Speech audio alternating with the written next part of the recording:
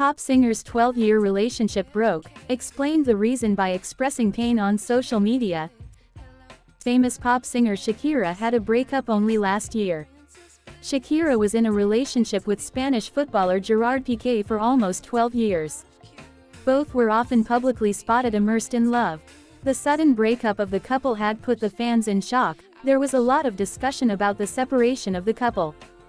However, then no one could know the reason for the separation of Shakira and Gerard.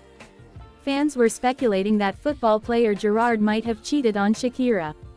But none of the couple had given any official statement.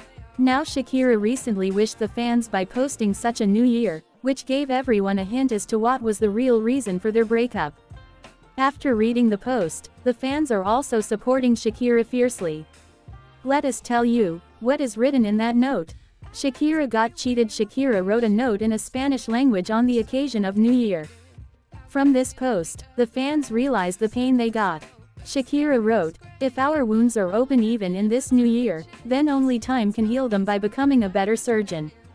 Even if someone has betrayed us, we should not forget to trust others. Don't forget to recognize your worth even when faced with disdain. Because there are more good people in this world than those who cheat and cheat. People who show more sympathy than indifference are more cooperative than those who leave us. Shakira further wrote, Our tears are not meaningless.